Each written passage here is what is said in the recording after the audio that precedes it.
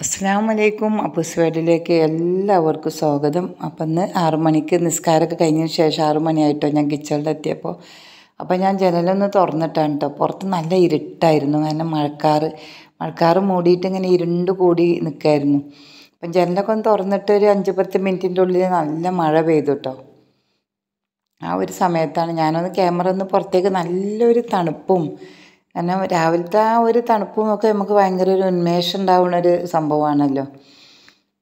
അപ്പം അങ്ങനെ ഒന്ന് കുറച്ച് നേരം ഒന്ന് പുറത്തേക്ക് നോക്കി. അതിന് ശേഷം ഞാൻ അരി വെള്ളത്തിലിട്ടുണ്ടായിരുന്നു കേട്ടോ അതൊക്കെ ഒന്ന് കഴുകി വാരി വെച്ചു.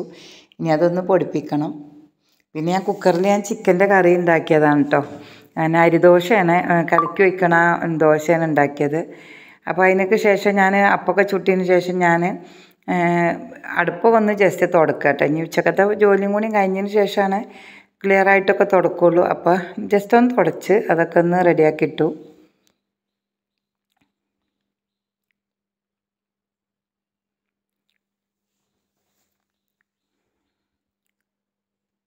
അപ്പോൾ ഡീ ഡീറ്റെയിൽ ആയിട്ടുള്ള റെസിപ്പികളൊന്നും ഇല്ല കേട്ടോ കാരണം ചെറിയൊരു വീഡിയോ ആണ് ഞാൻ ഇട്ടിരിക്കുന്നത് അപ്പോൾ ഞാൻ അതൊക്കെ കഴിഞ്ഞ് ഞാൻ പുറത്തോട്ട് ഇറങ്ങിട്ടോ അപ്പോൾ നമ്മളെ കാന്താരി മുളകും അത്യാവശ്യം നന്നായിട്ട് ഉണ്ടായിട്ടുണ്ട് കേട്ടോ അത്യാവശ്യം വലിയ കാന്താരി മുളകാണ് കേട്ടോ അത് ഇത് ഇങ്ങനെ മുളച്ചുണ്ടായതാണ് കേട്ടോ നമ്മൾ നട്ടതൊന്നല്ല മുളച്ചുണ്ടായപ്പോൾ ഞാനത് നമ്മൾ ബക്കറ്റിലേക്ക് ഞാൻ പിന്നെ നട്ടതാണ്. അത്യാവശ്യം നന്നായിട്ട് വലുതായിട്ടോ കാരണം ഞാൻ നമ്മളെ പച്ചക്കറിന്റെ വേസ്റ്റും കാര്യങ്ങളൊക്കെയാണ് ഇടൽ അതിന്റെ ഒക്കെ ഒരു ഇതുകൊണ്ട് പെട്ടെന്ന് ആൾ വലുതായിപ്പോയി നമ്മളെക്കാളും ഉയരത്തിൽ മുളകിന്റെ മരം വെച്ച് കഴിഞ്ഞിട്ട് ഞാനൊരു കമ്പൊക്കെ വെച്ച് കെട്ടിയതാട്ടോ കേട്ടോ.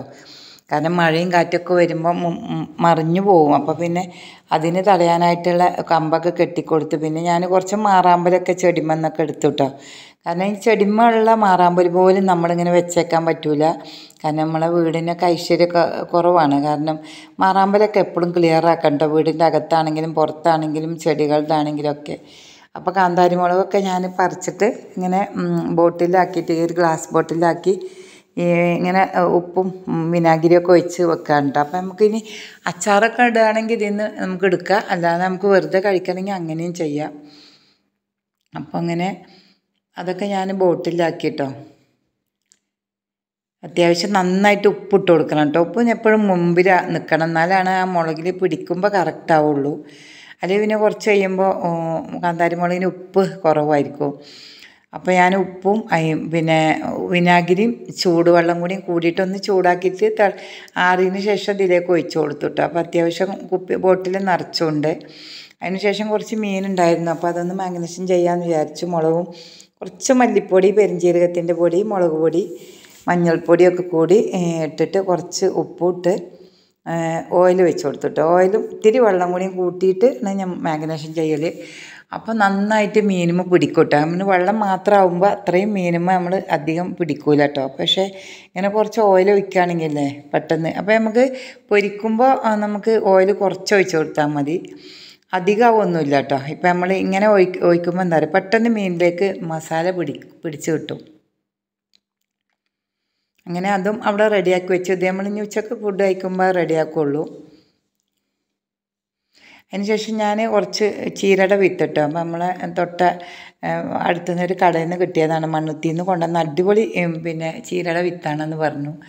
അപ്പം ഞാൻ കുറച്ച് കമ്പോസ്റ്റിന്റെ വാങ്ങിച്ചു തന്നെയാണ് കേട്ടോ അതിലാണ് ഞാനിത് പിന്നെ പാകണ കേട്ടോ അപ്പോൾ ഈ ചകിരിച്ചോറും മണ്ണും ചാണകപ്പൊടി അങ്ങനെയുള്ള മിശ്രിതം നമ്മൾ വാങ്ങിച്ചാണ് അപ്പോൾ അത് ഞാൻ ചട്ടിയിലേക്ക് ഇട്ടിട്ട് അതിൽ ചീരന്റെ വിത്തൊക്കെ ഞാൻ പാകിയിട്ടുണ്ട് കേട്ടോ അപ്പോൾ അത്യാവശ്യം നമ്മളെ വീട്ടിൽ തന്നെ മുളകും കാര്യങ്ങളൊക്കെ ഞാനിപ്പോൾ മുളക് അങ്ങനെ പുറത്തുനിന്നൊന്നും വാങ്ങിക്കാറില്ല കേട്ടോ. കാരണം കുറച്ചാണെങ്കിലും നമ്മളെ വീട്ടിൽ തന്നെ ഉപയോഗിക്കൽ. അതുപോലെ പ്രോട്ടീന്റെ ചേമ്പ് ചീരന്റെ വിറ്റ് അങ്ങനെയൊക്കെ ഇടുമ്പോൾ അത്യാവശ്യം നമ്മൾ പെട്ടെന്നൊക്കെ നമ്മളെ കയ്യിൽ സാധനങ്ങളൊന്നുമില്ലെങ്കിൽ നമുക്കൊന്നും മുറ്റത്തേക്ക് ഇറങ്ങിയാൽ എന്തെങ്കിലുമൊക്കെ നമുക്ക് കറിക്കൊക്കെ ആവും കേട്ടോ. ഇത് ഞാൻ മുളകിന്റെ തൈ ഒരു ചട്ടിയിൽ പാവിയതാണ് കേട്ടോ. ഇനി അത് രണ്ട് സൈസ് മുളകുണ്ട് വലുതും ചെറുതും ഉണ്ട്. അപ്പോൾ അതൊക്കെ ഒന്ന് റെഡിയാക്കി വെച്ചു കേട്ടോ അപ്പോൾ ഇനി ആ പിന്നെ ചീരന്റെ വിത്തിന് കുറച്ച് വെള്ളമൊക്കെ ഒഴിച്ചു കൊടുക്കുകയാണ് അപ്പോൾ ഞാൻ ഇതൊക്കെ മുളച്ചതിന് ശേഷം ഞാൻ അടുത്ത വീഡിയോയിൽ ഞാൻ ബാക്കിയുള്ളതൊക്കെ കാണിക്കും കേട്ടോ അപ്പോൾ ഞാൻ നാല് മണി നാല് മണി വരെയുള്ള വീഡിയോ ആണ് കേട്ടത് അപ്പോൾ ഞാൻ കുറച്ച് ഏത്തപ്പഴം ഉണ്ടായിരുന്നു. അപ്പോൾ അതൊന്ന് പുഴുങ്ങി വെക്കുകയാണെങ്കിൽ കുട്ടികളത് കഴിച്ചോളുമല്ലോ. അപ്പോൾ ഞാൻ ആവിയിലാണ് കേട്ടോ പിന്നെ എപ്പോഴും പഴമൊക്കെ പുഴുങ്ങൽ അപ്പോൾ നല്ല ടേസ്റ്റ് ഉണ്ടാവും ആവിയിൽ പുഴുങ്ങുമ്പോൾ കേട്ടോ പിന്നെ വെള്ളത്തിലിട്ടൊക്കെ ആകുമ്പോൾ പിന്നെ അതിന്റെയൊക്കെ ടേസ്റ്റൊക്കെ കുറേ പോണ പോലെയാണ് എനിക്ക് തോന്നൽ അപ്പോൾ ഞാനിങ്ങനെയാണ് പുഴുങ്ങൽ അപ്പോൾ ഇന്നത്തെ ഇത്രയൊക്കെയാണ് കേട്ടോ ഇന്നത്തെ വീഡിയോ. അപ്പോൾ എല്ലാവരും സപ്പോർട്ട് ചെയ്യുക എല്ലാവരും സബ്സ്ക്രൈബ് ചെയ്യാണ്ട് കാണുന്ന എല്ലാ കൂട്ടുകാരും സബ്സ്ക്രൈബ് ചെയ്യുക അതുപോലെ ലൈക്കും കമന്റും ഒക്കെ ചെയ്യാൻ മറക്കരുത്. ഇനി നല്ല വീഡിയോ ആയിട്ട് ഞാൻ വരുന്നതായിരിക്കും. ഇൻഷാ അല്ലാ അസ്സാം വലൈക്കും വറഹമത്തല്ലാ വർക്കാത്തു